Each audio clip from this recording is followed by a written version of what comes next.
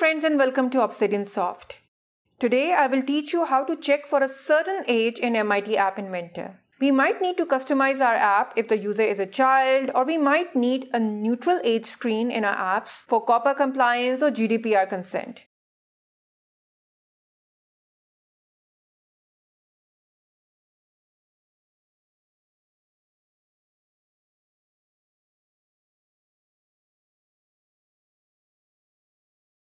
So let's begin.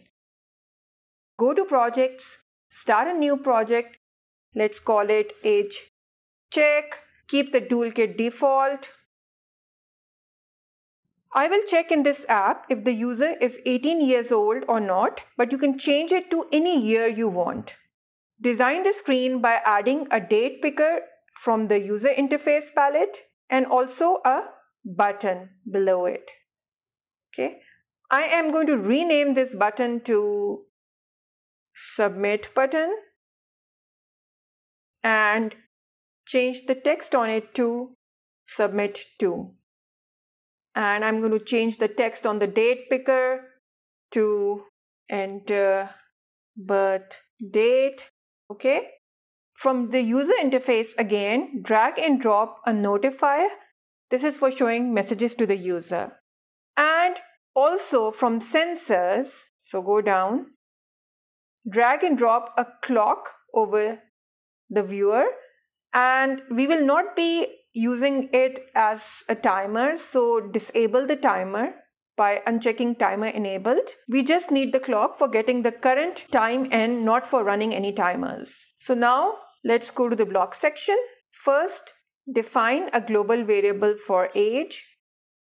And in the beginning, we don't have the age so just make it zero. Now add a procedure from the procedures section. Use the one without the result. So use the first one and let's rename it to calculate age.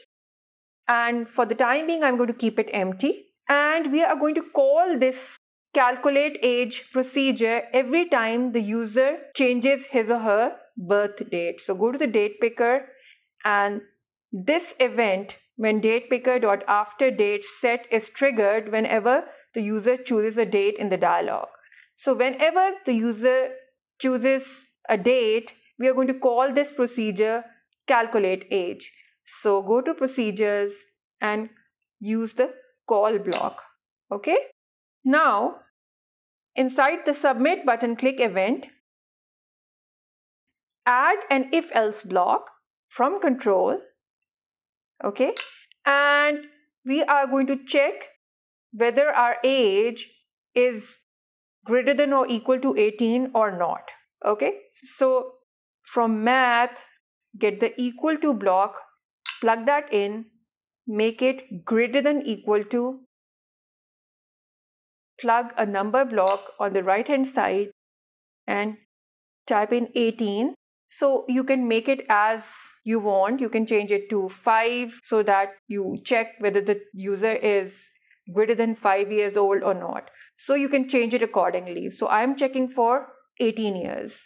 And here we are going to use the get block from variables and check for age. Now we haven't calculated the age yet depending upon the provided birth date by the user. We will be doing it later, but right now I'm just focusing on the messages shown to the user. So how can we show the message? We can use the notifier to show an alert. And what is the message? An empty text block. And what we can put in is you are 18 or older. Okay.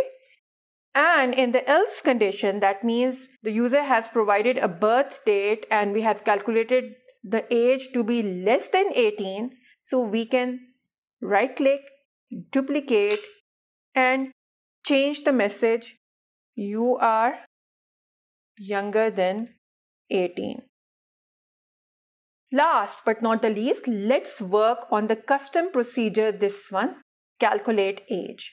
Now, we need a local variable inside it to calculate the age depending upon the birth date picked by the user. Okay, so I am going to go to the variables and I am going to use this initialize local name for making a local variable, but we need six local variables. So how to add more local variables to it? By clicking on the cogwheel and dragging this here. So three and four, five, and six. So now we have six local variables and let's now rename them. So I'm going to rename the first one to birthday. Okay. The second one to current day. This one to birth month. The next one to current month. The second last one to birth year. And this one to current year. Okay.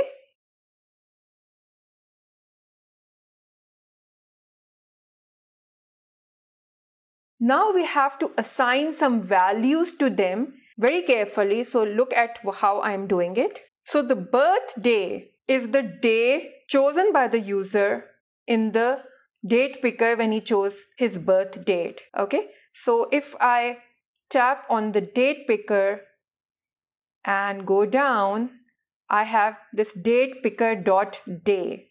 So plug that in. Okay.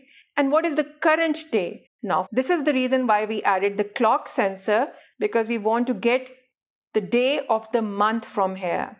So if I come here, we have this procedure called clock.day of month and I'm going to plug that in. And what is the instant? We have to tell it what the instant is.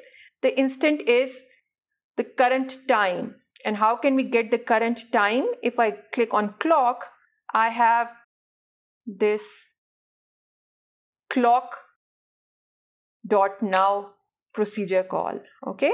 Similarly, we have to fill up this birth month, current month. So I can right click, duplicate, and put it here. And now I'm going to choose month here.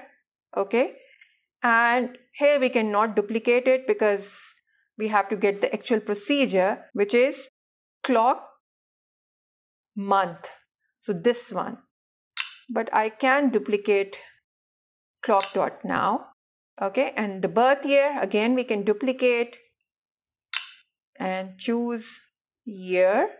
Okay, and here for the year, we have to go again to clock and get this procedure call for clock dot year and the instant is the current time which is clock dot now okay so verify that you have done it exactly the way i have done it now our calculation will come now what is our logic our logic is that if our current month is greater than the birth month or it is the same but the current day is greater than or equal to the birthday then this means that the birthday has already passed so we can calculate age as current year minus birth year.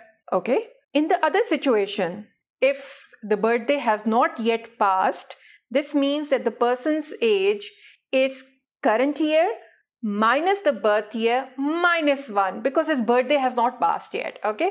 So let's quickly do it. So we need an if else block from control. Okay go to logic, get the OR block. So here we will plug in when the month, current month is greater than the birth month. Okay. So from math, get the equal to block, change it to greater than and hover over current month to get the get block for it and hover over birth month get this. So this is the condition, okay?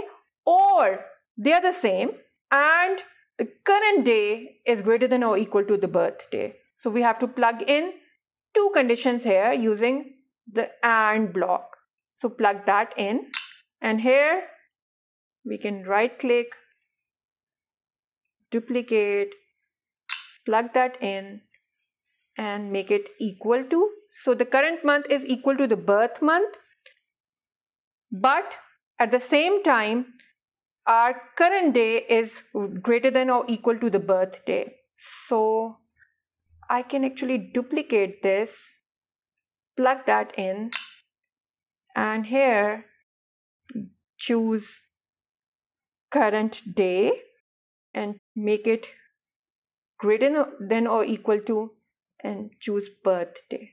Okay, so either the birthday month has passed or the birthday month is the same but the birthday has passed. So in that case, our age, so get the set block for age, is equal to a simple minus of current year